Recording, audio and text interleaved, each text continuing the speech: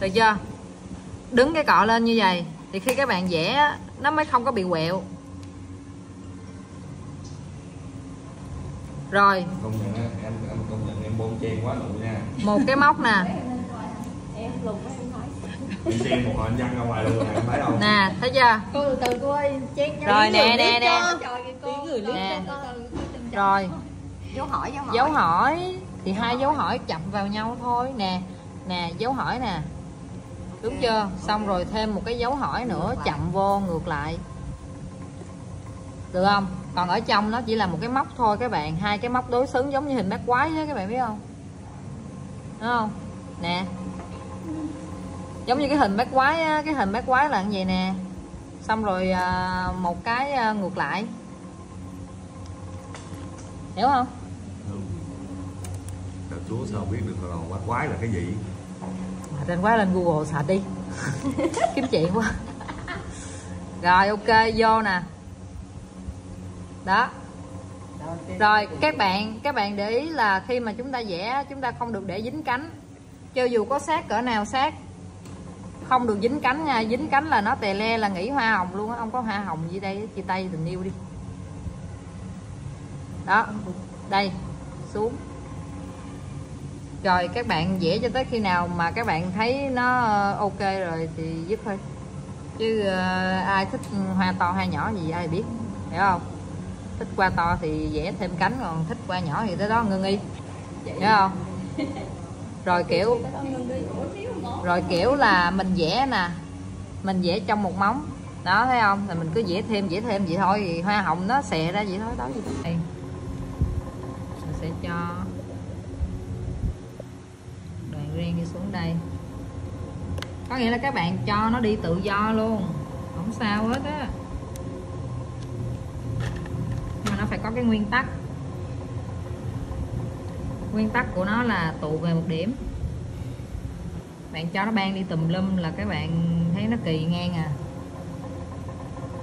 Xong.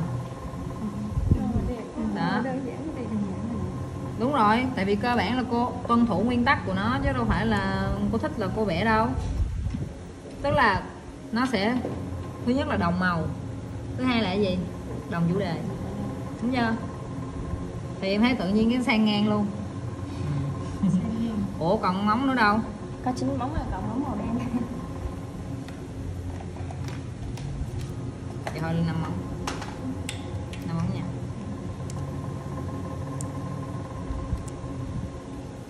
rồi ok tiếp tục. Ở đây là ngón cái. Ngón cái cô sẽ nhấn nè. Ngón cái với lại ngón. Đúng. Vậy là bố cục này là bố cục gì? Bố cục đặc biệt nhưng mà là nhấn hai ngón. Đúng chưa? Rồi ok.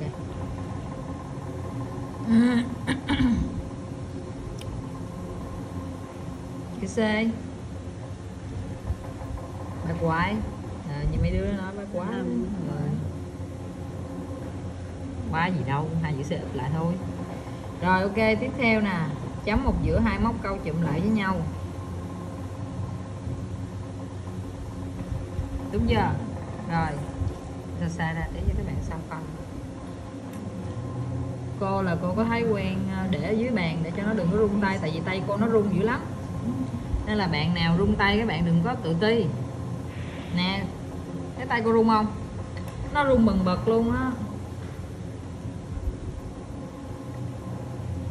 đó vô nè khi mà những cái cánh ở ngoài á, là các bạn chỉ nó lên. Các bạn đừng cho nó ôm vô các bạn chỉ lên vậy nè. Để chi? Để khi mình hợp lại cái nó xòe ra nó giống như cái cánh đang nở ra vậy đó các bạn. Nhìn cái hoa của mình nó tự nhiên hơn đúng không? Đây cho thêm miếng sơn đi hết sơn rồi. Ok. Biết sao xin thêm không? Xin thêm để lấy giọt. Các bạn vẽ ren các bạn phải lấy giọt. Và bữa tới bài vẽ ren này cô sẽ hướng dẫn kỹ hơn. Tại nay chưa tới bài rồi. Dùng dao nhẹ nào cô rồi chúng ta sẽ vẽ một cái ngón này y chang ngón này luôn. Gì là cái này hả đúng rồi nhịn trong á. Bữa đứa nào lấy nhịn trong nè. À con bé hàng nghĩ rồi.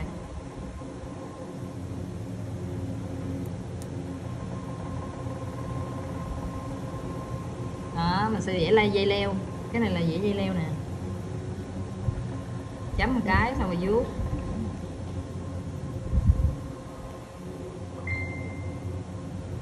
đó chúng ta sẽ giả dây leo á. Cái thực ra này là dễ đen nha. Vuốt lên nè. Chấm vô giữa, vuốt xuống. Là dễ lá. Nhớ động tác dễ lá nha. Rồi. Đây cũng vậy luôn. Mình sẽ vẽ y chang ngón này nhưng mà mình vẽ ngược lại. Để cho nó vô bút cục. Hiểu không? Cũng vẽ đâu cô vẽ nhưng mà em phải tuân thủ nguyên tắc của nó. Là được. Đúng rồi. Vẽ ngược lại mà phải vẽ bao nhiêu nét phải đếm nha. Trời ăn tiền của ta đâu dễ đâu em. Thấy cô nói ăn dễ ẹt. Ừ. với điều kiện là các bạn phải hiểu các bạn phải nắm các bạn phải tuân thủ theo